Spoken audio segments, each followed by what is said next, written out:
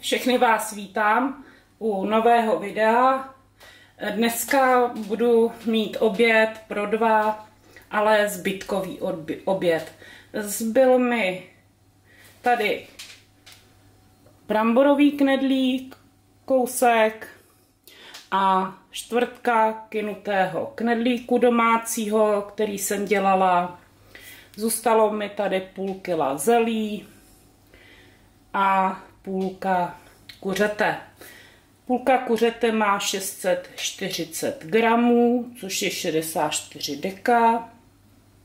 A budu potřebovat sůl, kmín, koření na kuře a trochu oleje na vysmažení půlky cibule pod to zelí. A ještě tady v mise mám krystalový cukr, který si do zelí budu přidávat, protože to zelí je kysané a je poměrně dost kyselé a u nás máme rádi sladkokyselé. Takže knedlíky ty si potom ohřeji a první, co udělám, Vemu si půlku kuřete, nasolím, trošku kmínu, o, říkám trošku, já mám drcený kmín, posypu si to kořením na kuře, kuře, koření na kuře. Opět posolím podle potřeby.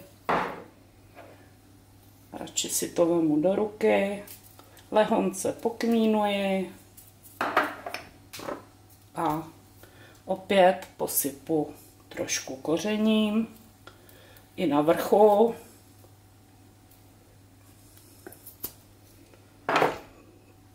Tak, to bychom měli.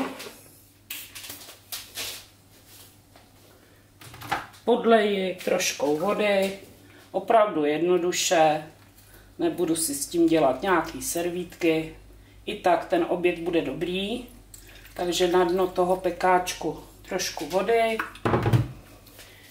dám do trouby 200 stupňů, hodinu a půl, abych měla kuře pořádně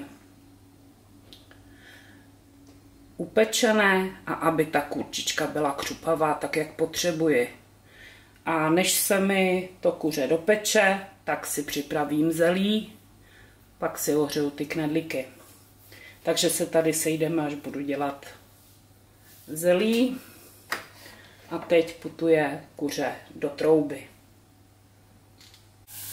No a už přišel čas i na zelí, tak na osmaženou cibulku lehce dohnědá.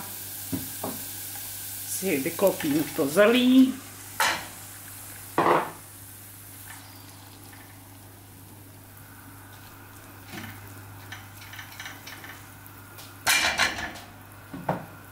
Přidám si tam tři lžíce cukru.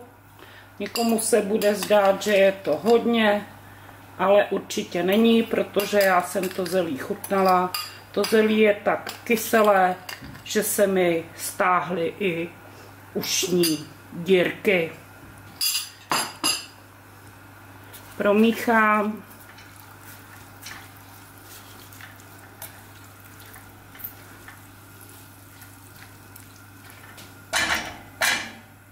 Přiklopím a nechám vydusit šťávu a tím vlastně budu mít zelí prakticky hotové, změklé.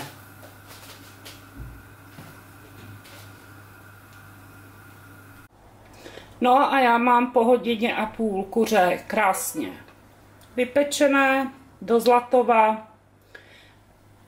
Ke kuřeti, ke konci pečení jsem přidala plátek másla a to je všechno. Takže už pouze porce na talíři. No a tady už mám závěrečnou porci, jednu porci.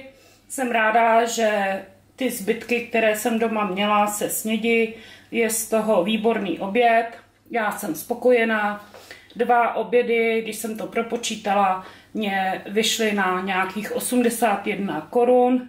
Bramborový knedlík domácí, kinutý knedlík domácí. Takže jako spokojenost. Já vám přeji krásný víkend, ať se máte hezky a ať se máte dobře.